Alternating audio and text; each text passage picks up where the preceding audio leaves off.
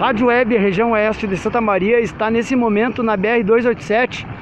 Essa sinaleira aqui, ó, está incomodando muito a população porque ela está desligada já faz muito tempo. DENIT desligou.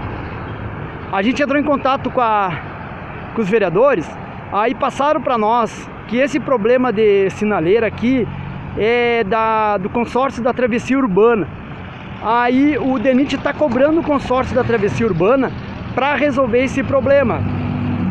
E aí, a, a, o que chegou para nós, que semana passada eles iam dar uma olhada aqui para fazer alguma coisa aqui para resolver esse problema. Ela está desligada faz muito tempo e está dando transtorno. Vocês percebem o movimento que dá aqui?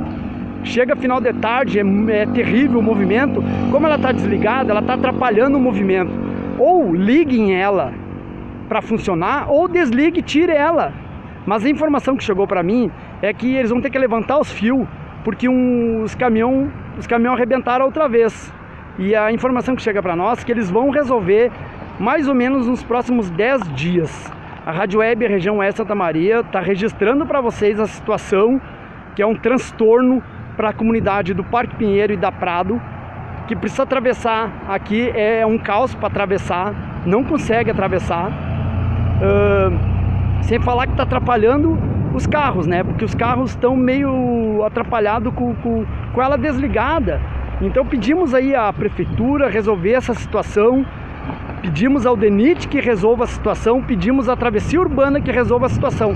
Rádio Web, região Oeste Santa Maria, trazendo informações para vocês a qualquer hora, em qualquer lugar.